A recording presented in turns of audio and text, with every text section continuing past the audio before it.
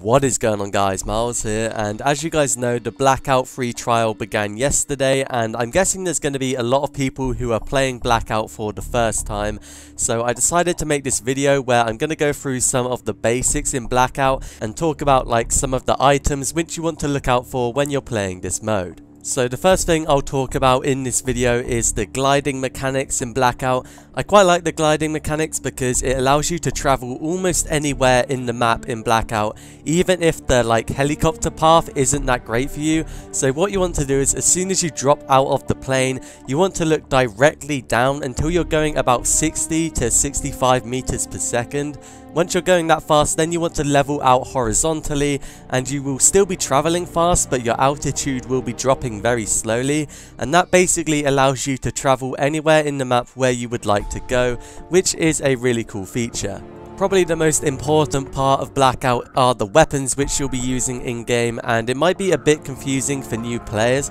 because there isn't a tier system for weapons like in Fortnite or something where if you see a gold weapon then you're going to assume it's probably decent at least but in Blackout you just have weapons and their names so it might be a little bit confusing and I would say the best weapons in Blackout are the sniper rifles which would be the Paladin, the Outlaw as well as the Koshka. I won't mention the SDM because because to be honest that feels more like a semi-automatic assault rifle to me and it did recently get nerfed so I don't think it's that amazing anymore but if you see the Paladin, the Koshka or the Outlaw you definitely want to pick those up because they are the sniper rifles and they have amazing range which is good for the huge map in Blackout and they also deal massive damage as well which is really important when people are running around with armor. Out of the sniper rifles, I would probably say the Paladin is the best weapon in the game because this weapon I think has the highest damage of the sniper rifles and it allows you to like two-shot people even if they have level 3 armor. So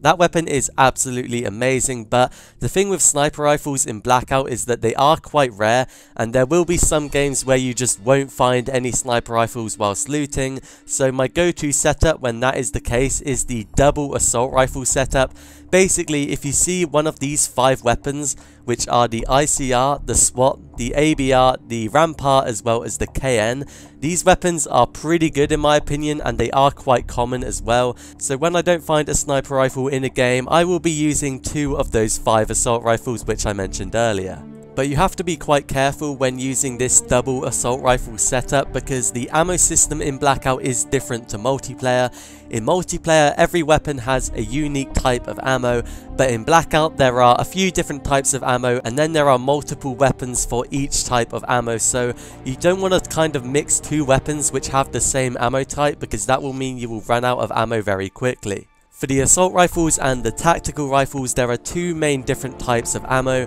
We have the 5.56 ammo as well as the 7.62 ammo and with the 5 weapons I mentioned earlier, the ICR, the SWAT as well as the ABR all use 5.56 ammo whereas the Rampart as well as the KN57 they use 7.62 ammo so if you want to run the double assault rifle setup you want one weapon which uses 7.62 ammo and then one weapon which uses 5.5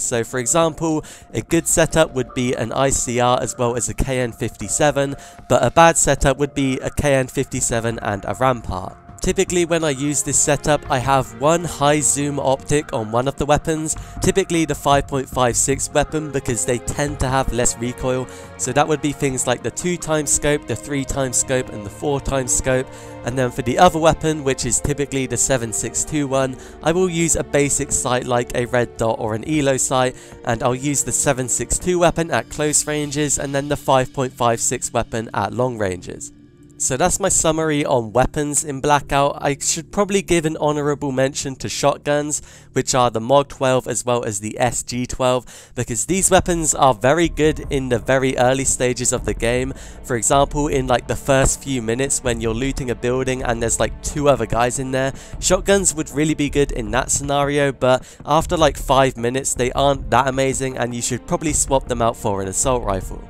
Moving on to perks, these are items which can be consumed and they give you bonuses but only for a limited amount of time and I'll split the categories of perks which I use into different portions of the game. So for the early game which would be like the first 5 to 10 minutes, typically I like using Skulker as well as Mobility. Both of these perks allow you to move faster and therefore loot more areas and then rotate into the first circle without getting hit as much by the storm. In the later stages of the game I like using Dead Silence which muffles your footsteps so they are much quieter and also Awareness which allows you to hear enemy footsteps a lot louder. These perks are very strong but they only last for 2 minutes so you kind of want to save them to the later portions of the game when the circle is much smaller and there isn't many enemies left. As for the situational perks, the first one is Iron Lungs which allows you to hold your breath longer. This one is very useful if you have a sniper but if you don't then it is kind of useless.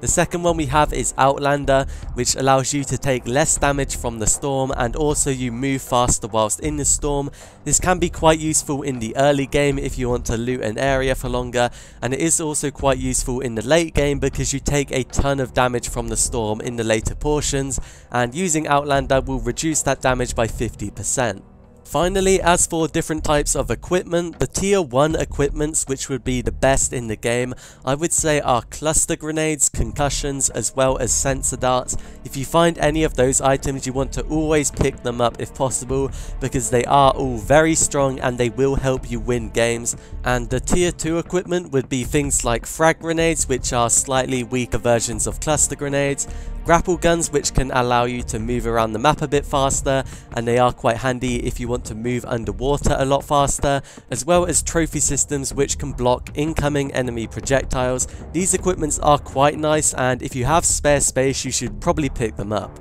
But there we have it, that is my introduction guide to Blackout and the items you want to be looking out for whilst playing the game. Hopefully some of you guys did find this guide useful. If you did, leave a like and subscribe to the channel if you want to see more Black Ops 4, but I'll see you guys in another video.